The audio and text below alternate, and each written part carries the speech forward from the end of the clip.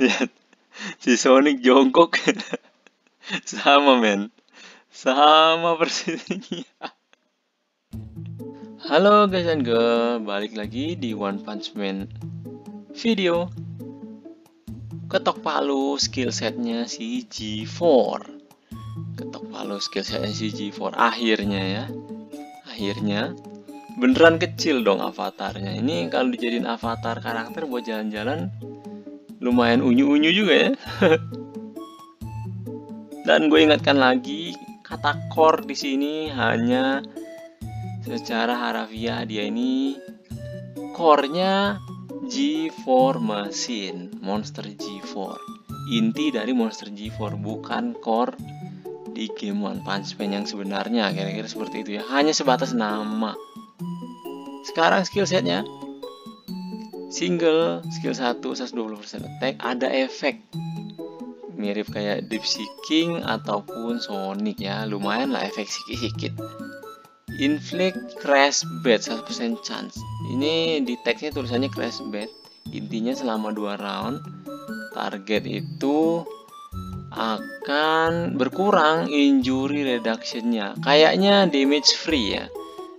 Kayaknya damage free 20% ya oke okay lah ya walaupun tetap ampas cuma setidaknya ada efek. Hanya Kabuto skill satunya yang bener-bener gigi WP kasarnya. Kabuto SSR plus. Skill 2 nya 3 hit kalem pas bawa 20% attack. Ultra ulti jadi 600 100% chance untuk inflict special burn ke target tersebut ya.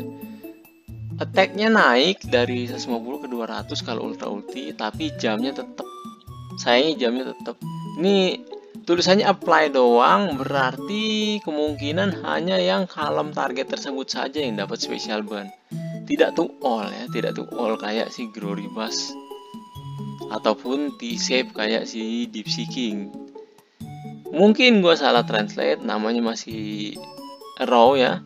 Nanti kita koreksi sama-sama. Intinya dia inflict special burn segini damage nya dan 3 kali jam ultra ulti ada buff. Provide 20% non crit damage free to all allies selama 2 round. Bisa dibilang selamanya lah ya kalau misalnya dia dikasih crawl. Karena tiap crawl akan ngasih buff lagi 2 round. Dan ini kemungkinan tidak stuck dengan yang udah punya yang sudah punya buff seperti ini yang mirip-mirip. Kecuali yang di mastery feature. Mastery feature kan stat. Jadi di mastery feature bisa stuck tapi kayaknya sih ada diminishing effect. Yang dari mastery feature ke versi buffnya. Contoh kayak ini 20% ditambah yang dari mastery 6% itu nggak langsung 26% harusnya seperti itu biasanya sih gitu ya atau kayak si atomic yang 80% terus unlock di mastery kayak 6% jadi 86% gitu. Harusnya sih di diminishing nggak nggak totali 86% cuman gue belum investigate lebih lanjut. Biasanya seperti itu. E, biasanya di apply diminishing effect tidak langsung ditambah seperti itu. Itu maksudnya.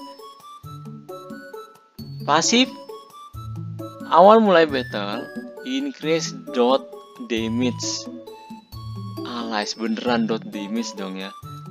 50, 65, 80% kalau si puri-puri 40, 50, 60%. Ya oke okay lah ya. Setidaknya namanya juga New Air ya. Setidaknya namanya juga New Air.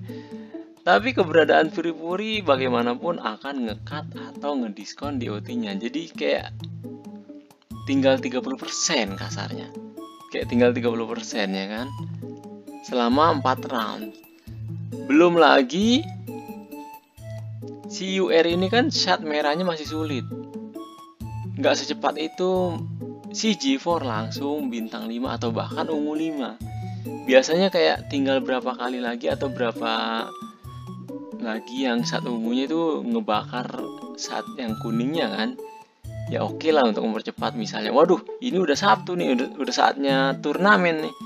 Ya udahlah gue bakar 6 saat biar langsung ungu 5 contohnya ya. Nah dengan saat yang sulit sekali saat merah ini kayaknya nggak secepat itu ke ungu 5 dan UR kayaknya udah layak lah ya 5 kali per hari extreme training. Kasarnya kalau emang mau ngejar ini ungu 5 nya absorb 40 50 60% kalau ungu 5 special burn dan detonation damage ke musuh. Berarti kalau ada tatsu ini juga akan trigger ya.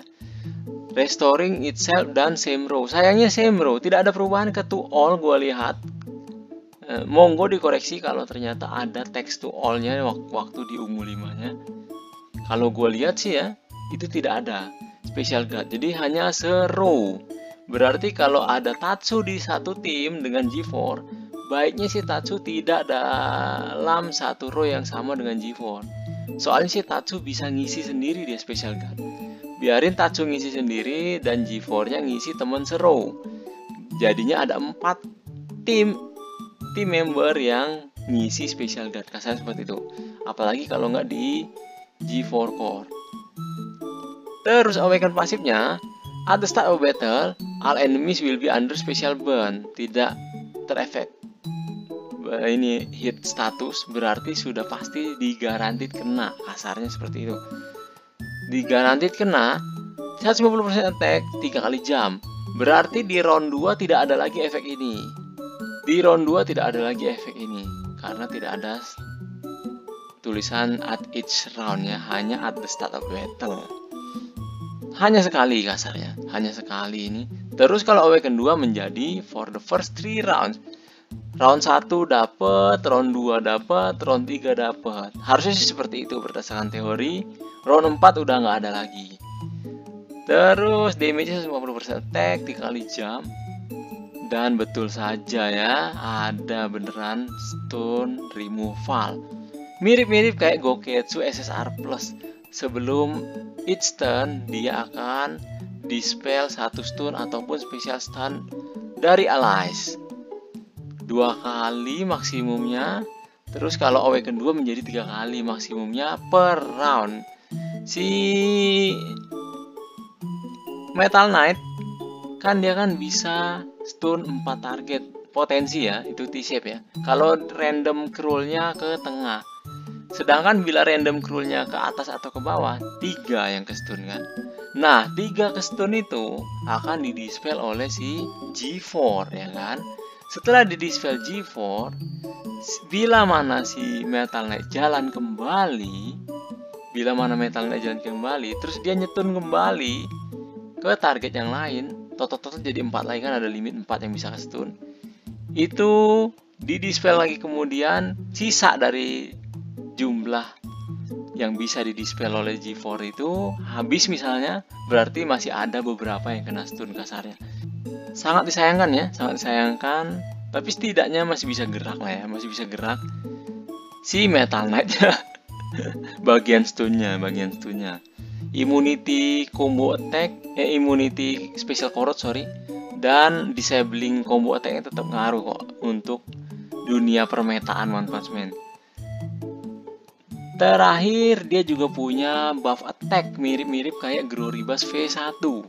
Buff attacknya ngaruhnya kalau ada special burn di tim musuh. Satu special burn akan nambah 10% dan maksimum bisa 3. Berarti kalau ada 3 special burn atau lebih itu nambah 30% attack.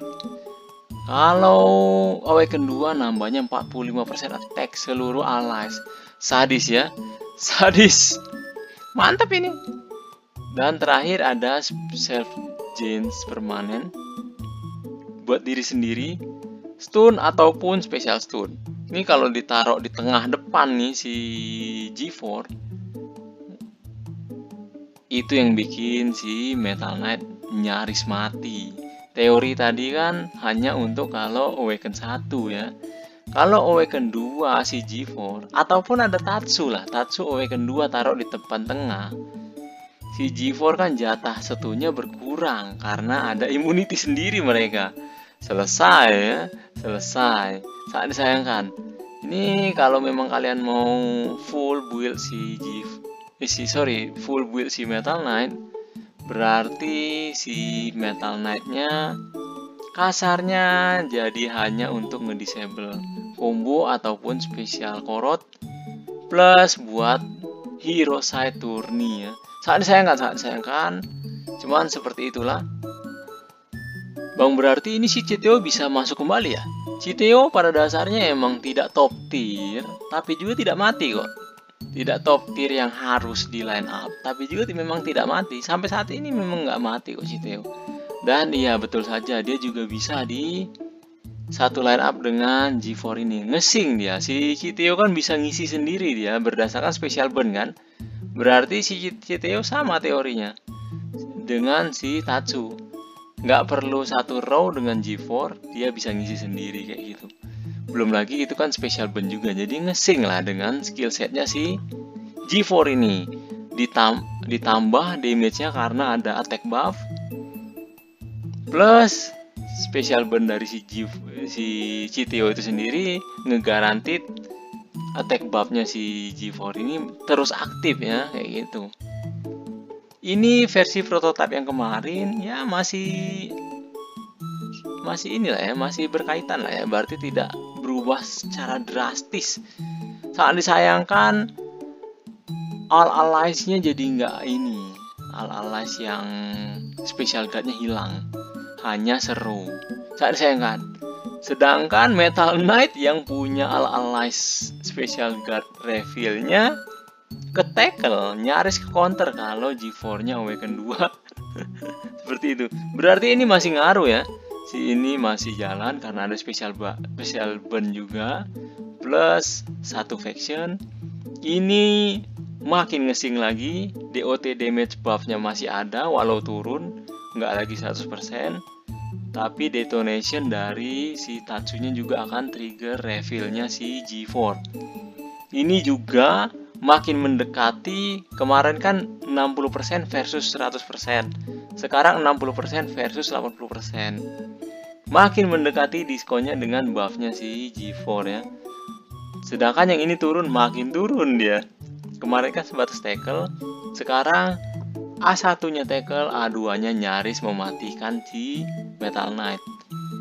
Kenapa aku bilang nyaris? Karena hanya di sisi stunnya ya combo attack disablernya dan immunity special core-nya masih ngaruh lah menurut gua. Ini juga lah ya karena ya berkecimpung di dunia DOT berarti damage-nya masuk full ke tim Aloy. Cuman di sisi lain Aloy juga ngebantu G4 ataupun rekan-rekan DOT-nya karena rekan-rekan DOT-nya itu jadi kasarnya resist normal ataupun extra damage-nya. Belum lagi ada shield rate kan. Shield rate berarti bikin kenceng itu nge-reveal special guard-nya.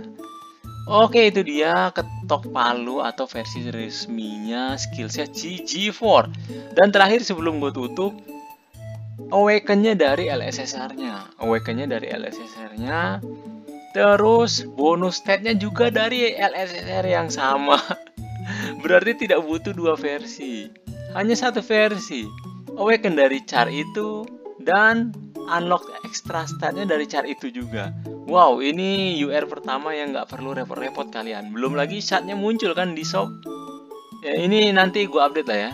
Sekilas tadi gue lihat seperti itu. Awakennya dari LSSR-nya dan bonus statnya juga dari LSSR-nya. Ini karena lihatnya di tes server bisa jadi nanti berubah ya bisa jadi nanti berubah tes server itu biasanya valid biasanya valid karena memang dari developer resminya. Cuman kadang berubah. Contoh yang kadang berubah waktu itu si Silver Fang kalau nggak salah. Silver Fang awaken pasifnya itu berbeda yang di tes server dengan yang di in game di tes server itu biasanya resmi bagian-bagian yang untuk ngintipnya ya untuk yang bintang 5 dan awaken 2 nya tapi kadang berubah juga.